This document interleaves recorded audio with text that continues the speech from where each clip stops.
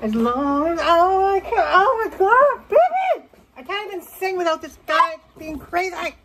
You're crazy. as long as I can dream. Do you not like my singing? There's a better word. There's a better. As long as I can. Around Loki because he gets upset. or maybe he doesn't get upset. He likes to join in and bark at me. He also does this thing. Like, if my. I swear, he's like a reincarnated of something. But when my when my when my bed isn't made, he'll pee on it. But when my bed is properly made, he won't pee on it. I don't know what's wrong with him. What's wrong with you? What's wrong with you?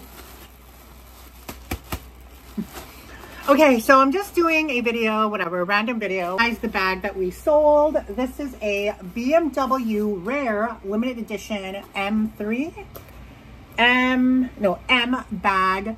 I thrifted this, I think almost two years ago. Yeah, almost two years ago and it just recently sold. I took a best offer of $250. I listed it for 350. Guys from New York wanted immediately, so I need to ship it today. He messaged me like early in the morning, like around 5 a.m. and I didn't get it. I didn't respond till 9. And then he paid right away and he's like, can you please ship it right away because it's for my brother's birthday. So um, I took a video of it just to make sure that everything is, you know, there's no damage on it. Um, but it is a really nice bag. It's like a linen and blend. So that's kind of like unique and it's like has a sheen to it. I put the strap inside already. And then I went to my um, recycling bin and I found these two boxes. I don't think it's gonna fit in this one, but I do think it will fit in this one. So yeah, we're gonna ship it out today. I did make it look pretty, like he paid $250, so it needs to look freaking pretty. Um, yeah, I, it's I thrifted that for like eight bucks, I believe. It was like, well, it was like 10, and then I used like a $2 off coupon plus tax. But yeah, that took forever to sell. Um, but then again, like I didn't really list it on eBay immediately. I think I list, I thrifted it in like months later, like almost half a year later, I, uh, I listed it on eBay, so. Loki likes to bark over there by the, by the linen closet and that's where my my dog that passed away used to sleep so I'm thinking it's like his ghost and Loki sees his ghost and he just keeps barking at it because it's another dog that's what I'm thinking because he just literally barks at nothing so I think it's Pal and because he's white and fluffy too maybe he's like you know there should only be one me in here Loki there's enough there's there's enough room for both of you. Pal and you, okay? You hear me? Loki, you hear me? Leave Pal's ghost alone, okay? Leave Pal's ghost alone. Unless you guys are playing, then that's fine. There it goes running off. Um, you know what I find too? Someone just, I just sold a camera. I sold this camera, touchscreen. Um, a lot of low ball offers on it, but some uh, Y2K teen girly who wanted to get it. I find that every single person who is like a Y2K young person, like between 16 to like 22, who's purchased from me has all been, okay, I'm gonna turn on the, I'm gonna turn on my Dyson fan. Um, has like their profile has nothing. Like there's no pictures, there's no nothing, there's no updates. It's literally like a blank profile, which normally I would find sketch, but now I find that that's the norm. I think like out of all the cameras I've sold, 80 to 90% have been like nothing on their profile. But apparently Daniel, because Daniel's in that same kind of age bracket range, he said that that's like the new trend for like teens is like nothing on Facebook. They just use it for like marketplace. Anyway, that's really interesting if you ask me. So I bought this. It's a write-off because it's business expenses, but I'm going to wrap, how are we going to do this? We're going to wrap it um, like this. There we go. That'll fit, yes. That needs to go out today because I said it would go out today. It's Daniel's event today. I was going to stop by, but I don't know. It's too hot and I already supported him by helping him advertise. So I'll go to his next one. I went to his other one. Yeah, well, no, I didn't go to that one because we weren't talking that week. But his event before that in June, I went to that one and I helped him. So plus, I think he has his girlfriend there, so she could help him. plus, he didn't message me to come down. So if he had messaged me to come down, I probably would have come down. But since he hasn't messaged me to come down because apparently I think it's busy, then I ain't coming down. So it's a little far for me. Plus, I had stuff to do. Oh, and plus, yeah, I had stuff to do. I had to go get Loki um, a um, a name tag because my sister's gonna walk him, I believe, when I'm gone, and just in case like he escapes or something or some shit, he has a name tag on because he doesn't have he doesn't wear a collar and he doesn't have a name tag. But I have I put I post where's that name tag? I want to see it. I'll show you guys. It's super cute. I chose like a like a student body kind of font. It's really cool. Isn't that cool, Loki? And then all my information's on the back. I have my, I couldn't fit my address. Well, I could, I guess. But I didn't want to put my address on here just because, um, in case, like, I plan on moving next year, hopefully, to like a better apartment. So, um, I don't, then, I, then this would have been a waste of money. So I just put my phone number and my email address. I feel like that's good enough. Okay.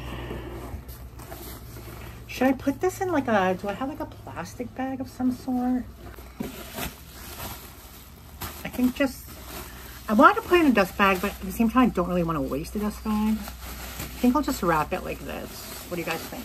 I mean, I feel like that's decent. Just wrapping it in bubble wrap like this.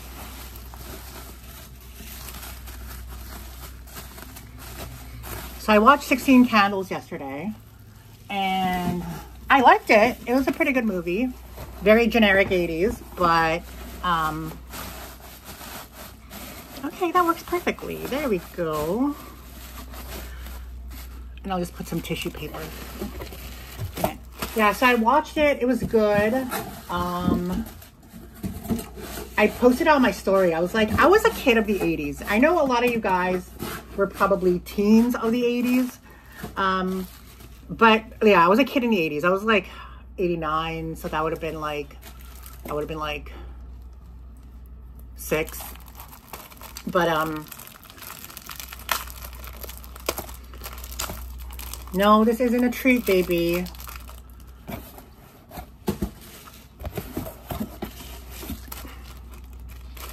Yeah, I give props to anybody who survived the 80s as a teen because people were just so mean in the 80s as teens. I mean, they were in the 90s too, but at least there was some progression in the 90s.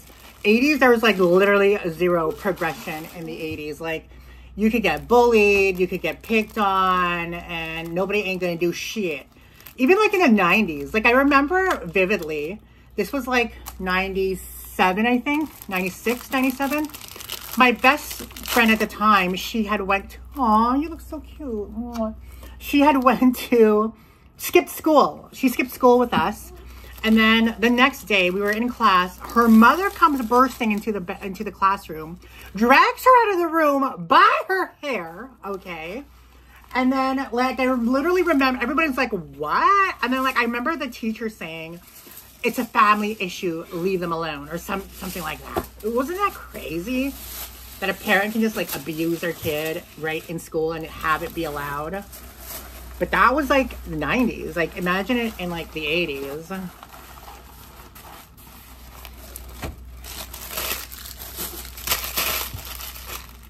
Um, but yeah. Can you believe like me in high school? So grade 9, 10, no, grade 11, 12, no wait, grade 10, 11, 12. I literally did not step foot in my cafeteria because I've watched enough freaking high school movies to know that that is where you freaking get bullied and tormented.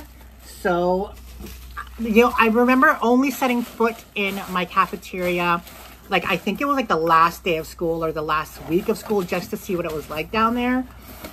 And yeah, I wasn't about to get a freaking bullied and shit.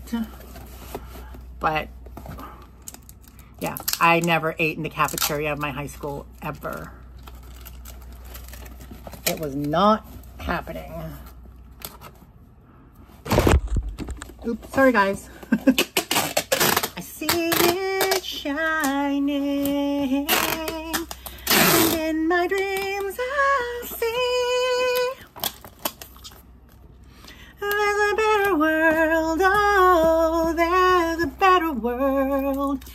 long as I can dream. I've been obsessed with like adult contemporary songs of the 90s. I don't know why. Well, I do know why. It's the music I grew up with. See it shining.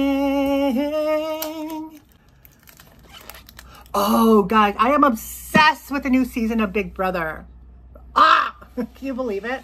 Love Big Brother. I've been watching Big Brother since season one, and that was like in 2000. Um, but I love it so much. I love Big Brother. It's my favorite show. One of my favorite shows of all time. I watched it last year. Watched the year before, but late, late. Anyway, here's a package. We're going to mail it out to New York. And um, yeah, so we did a really good sale. So we turned $8 into 250 Only had to wait about two years for that to happen, but it happened nonetheless. What is the lesson of the day is patience is virtue and good things come to those who wait in terms of sales and in terms of love.